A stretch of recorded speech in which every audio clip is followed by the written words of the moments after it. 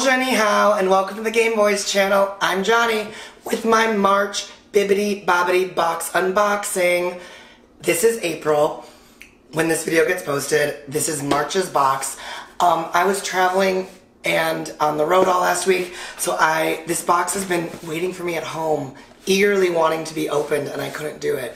So I'm finally back in Chicago and I can open this. This box is $59.99. This is the fantasy size box. Bibbidi Bobbidi Boxes is really great because they have a wide variety of sizes of their boxes that start at a very like low lower price and go all the way up to I think $120 for their um, highest level box. But I have yet to do that one. I someday may do one of the larger boxes. Maybe I'll save it for like a special occasion like my birthday or something in May.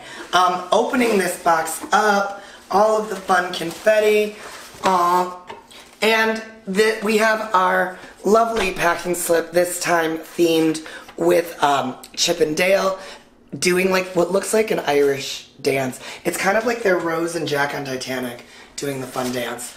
A lovely welcome card that was prepared for you or for me. I just saw Bibbidi Bobbidi Box's Instagram story and someone asked them how long a box takes and they said that it can take like anywhere between 15 and 20 minutes for one person. I was like, that is really cool. Alright, so the first thing I see is a red figure. okay, I'm re- I don't have this figure. Oh my god, Tim just got a Baymax figure in um, his Bibbidi Bobbidi box, and I will link his video. But he is going to die when he sees the figure I got. Ah, and it's one I don't have, which always makes this whole experience a little bit better. Guesses to who the figure is? Anyone? No? Well, it is one of my favorite characters, and it is Stitch. Oh, I want to take off this tag.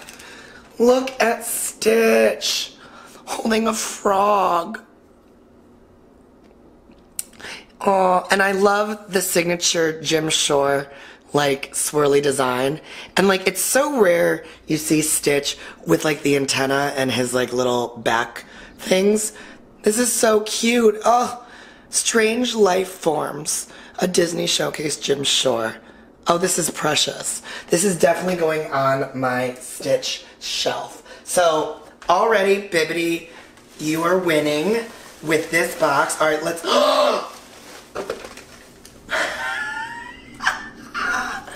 it's a Loungefly coin purse, and it's like a Funko of Slinky Dog, and it goes all the way with his little behind on this side. Oh. Oh, and inside is like this really cute um, the Toy Story bedroom wallpaper. This is fun. I I don't know why. I am like obsessed with tiny uh, wallets and little zippered pouches and drawstring bags because it makes when I travel so much everything so much more organized. So like I can put like I like I will definitely have a use for like little things like this. So I am so excited to have this. And it's Slinky Dog and it's blue. I love it. It's so cute. Hey. Tim just walked in the door. Hi. Hi. Um, alright. The next item that I see is a pair of Disney socks, which I am loving my Disney sock collection because the great thing about socks is that like most people wear socks every day. So like I'm wearing like a pair of these like I can almost go a full week now with like just wearing Disney socks. And this is a Monsters um, this is a Monsters Inc. sock because I think this is like adult Mike Wazowski. But it says, I've got my eye on you. These are so comfortable. Oh, I like this. And they're green. So it's like a St. Patrick's Day, like, fun little March thing. But the great thing about green is that it's a spring color, too. So I can wear these. I might, like, you know what these would look really cute with? Um, a white chuck and, like, a like a short. Like I might make these like high socks. I don't know. I probably will never make them high socks, but like I'm dreaming that I might someday. Oh my gosh, I just looked at the wall again. I'm really into this. Oh, this box is fun. All right. Oh my gosh, there's still more stuff in this tiny, this, I wasn't sad at the size of the box, but like it was a smaller box than I've gotten, so I was a little bit worried what was in it. All right. oh, okay. So this is super cute. I updated my preferences a while ago, and I wanted more like Delish food items because like the Delish collection literally just makes me so happy. And I got more food items, but this time they are um, chip clips. So like, they look like little popsicles. But they're clips for like chips or other like little bags, like cat treats or something. Um, uh, so into this, I'm very excited by these because right now I use like a combination of like binder clips and whatever like random clip is lying around. So I like it that I have like something that's a little bit more like cohesive to like secure my chips. Oh, these are fun.